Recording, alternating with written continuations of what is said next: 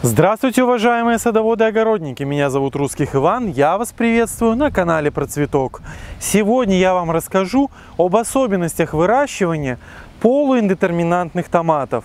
В Республике Беларусь, особенно в ее южных регионах, весьма популярно выращивание томатов также и в открытом грунте.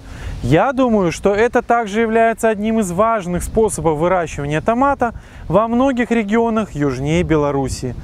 А полуиндетерминантные томаты, в отличие от полностью детерминантных томатов, являются гораздо более продуктивными. В Беларуси их еще называют коловыми. В то же время рост их невелик, они достигают высоты метр, метр двадцать, не более. Они являются гораздо более скороспелыми, нежели чем томаты защищенного грунта, которые плодоносят в основном во второй половине лета. Для выращивания полудетерминантных томатов необходимо подбирать освещенные, э, хорошо проветриваемые участки, на которых нет застоя влаги.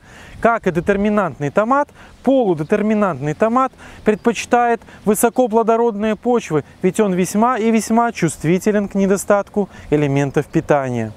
Но надо помнить, что томаты иногда лучше не докормить, чем перекормить. Детерминантные и полудетерминантные томаты весьма чувствительны к избытку азота. Они начинают жировать, в результате растения могут очень слабо цвести, либо цвести, но не образовывать плодов.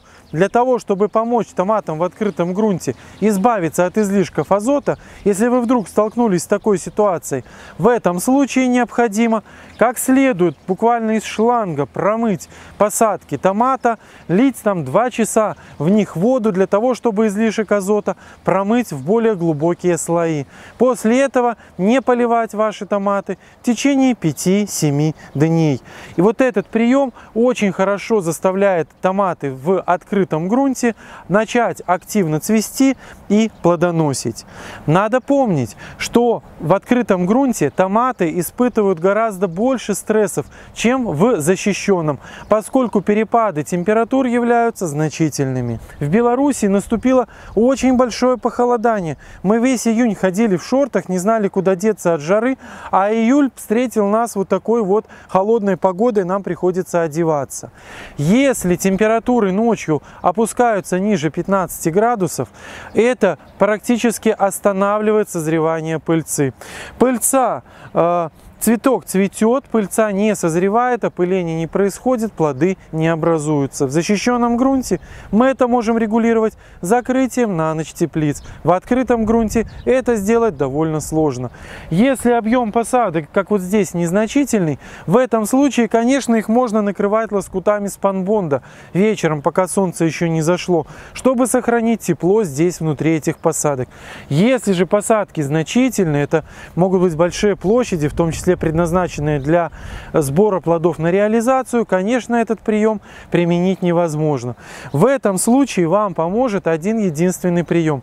Это использование энергетических таких напитков для ваших томатов, каковым является, например, э, янтарная кислота. Это очень хороший энергетик, который поможет продержаться вашим томатам в условиях э, пониженных ночных температур. Такую обработку необходимо сделать во второй половине середине дня, когда солнце располагается уже достаточно низко, для того, чтобы растворы, нанесенные на листья, не обожгли э, листья и не вызвали какие-либо повреждения. Ну, то есть после 6 часов вечера нужно сделать обработку в количестве от полграмма до 1 грамма янтарной кислоты на 10 литров воды. Это довольно крепкие растворы и легко обработать, опрыскать ваши растения с тем, чтобы янтарная кислота, которая всасывается в растение очень быстро, помогла растениям пережить вот это падение температуры, которое происходит, как правило, с 3 до 5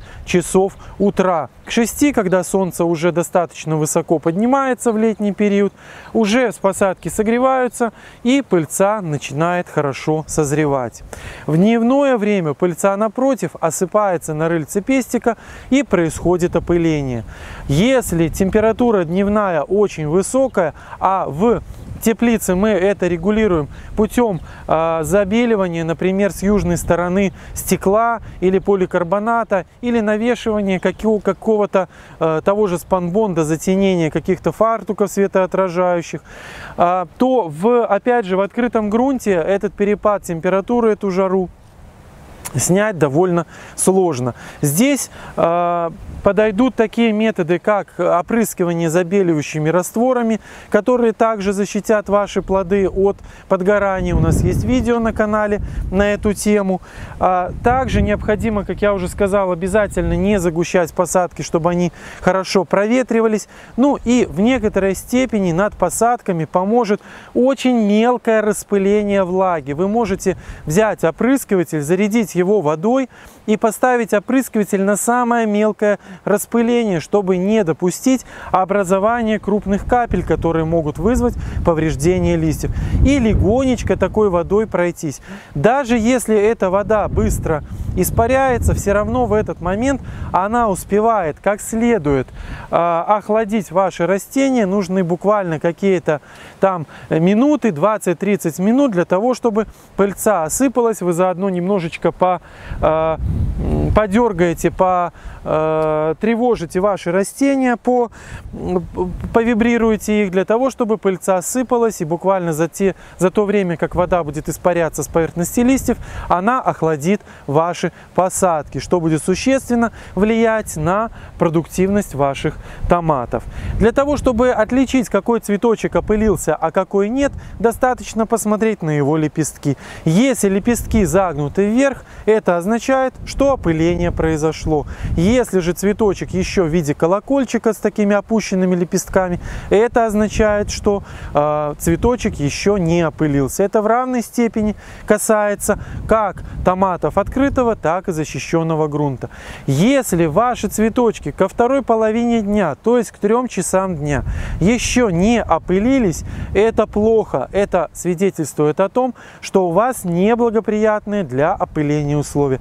Проведите вибрацию растений. В открытом грунте можно натянуть э, какой-то шпагатик и легонечко по верхушкам, вот если у вас нет колов, если это только детерминантные низкие томаты без колов, можете пройтись по этим посадкам и потревожить ваши растения.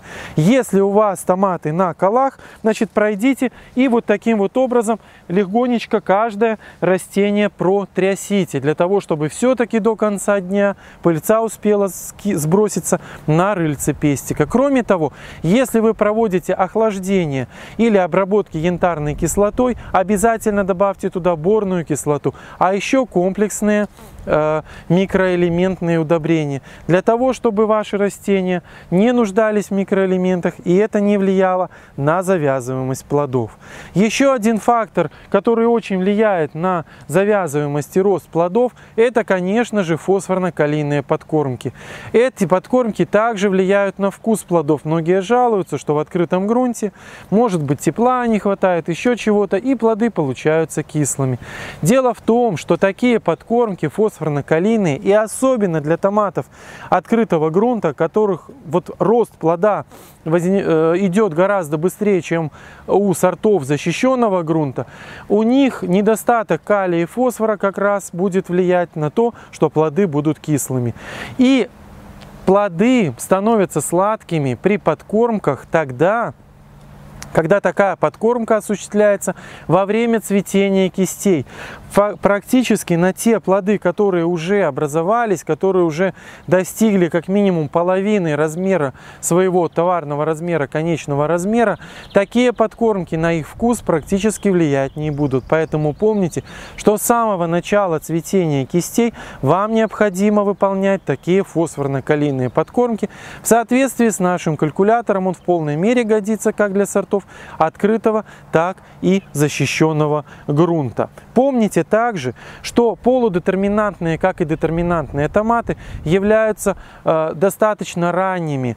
И они должны отплодоносить у вас, по крайней мере в нашей умеренной зоне, когда со второй половины августа, а то даже и с начала августа, фитофтора является большой проблемой, особенно в открытом грунте, а у вас съем плодов должен произойти до этого периода.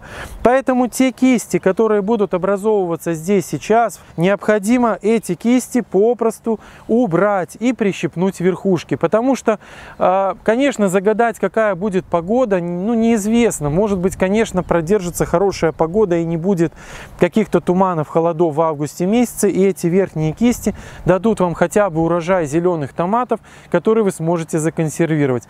Но как минимум сделайте прищипку верхних кистей и верхушек на половине ваших томатов, для того, чтобы хотя бы на этой половине все силы на развитие плодов шли именно на те плоды, которые уже к этому времени образовались. А те, которые в перспективе у вас, может будут, может нет, рискните не больше, чем на половине ваших посадок. Что ж, вот такие вот особенности выращивания полудетерминантных сортов, которые, между прочим, нужно также посынковать, как и томаты открытого грунта, закрытого грунта. Единственное, что их можно выращивать э, с меньшим риском в 2-3 ствола, а остальные пасынки с них обязательно надо убирать, для того, чтобы не забирать силы от э, тех плодов, которые уже образуются. Ну, а что для, до супердетерминантных сортов, которые выращиваются без опор, без колов, которые совсем низкие, там можно обойтись и вовсе без посынкования. Каждый пасынок даст вам кисть, которая впоследствии даст вам очень хороший урожай. Единственное, что, что если объем посадок вам позволяет, вы у супердетерминантных таких без подвязки сортов можете удалить в авто, вот к середине июля верхушки, для того, чтобы у вас больше не нарастала верхушка, не образовывались дополнительные пасынки. И удалять можно пасынки на самих пасынках, то есть пасынки второго порядка. Их можно убирать. Но, как правило, с такими помидорами супер ранними, супер детерминантными никто не возится и оставляют их расти так, как они есть. Ничего оттуда не удаляя и убирая их, по крайней мере, в условиях Беларуси, до э, там, окончания первой декады августа, точно до наступления каких-то фитофторных периодов. По защите этих томатов надо еще пару слов сказать. Конечно, из-за вот этих перепадов сильных, температурных, ночных, из-за того, что дождь на них то льет, то засуха сильнее э, их душит, поэтому регулировать надо обязательно полив, обязательно надо регулировать проветривание. Все это сложнее делать в таких посадках открытого грунта. Конечно, они требуют сильной защиты. И, конечно же, применение химических средств защиты является очень и очень нежелательным на таких овощных растениях. Поэтому в помощь вам обязательно наши рецепты по фитостимулирующим обработкам с помощью э, салициловой кислоты. Обязательно вам необходимо применять э, биологические средства защиты, такие как бактоген. Ну, фитоспорин на худой конец тоже все неплохо работает.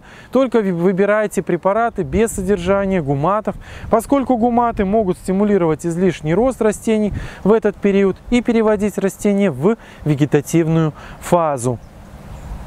В качестве фитостимулирующих средств в обязательном порядке выбирайте такие препараты современные, как Max Immun, для того, чтобы в полной мере быть уверенным, что даже без э, химической защиты ваши томаты будут в полном порядке. Э, кроме того, особенно если ваши томаты располагаются рядом с посадками картофеля, вам непременно надо постараться защитить их и от колорадского жука. Еще до появления колорадского жука на томатах. Обязательно каждые 7-10 дней проводите под обработки такими препаратами, как э, битоксибацилин, для того, чтобы не применять впоследствии какие-то контактные или системные инсектициды, для того, чтобы не насыщать вашу продукцию остаточными дозами пестицидных препаратов. Следуйте этим советам, и вы будете иметь томаты точно не хуже, чем те, которые здесь у меня на участке. Что ж, на этом с вами прощаюсь. Задавайте ваши вопросы по мере возможности. Буду стараться на них отвечать. Всего хорошего! thank you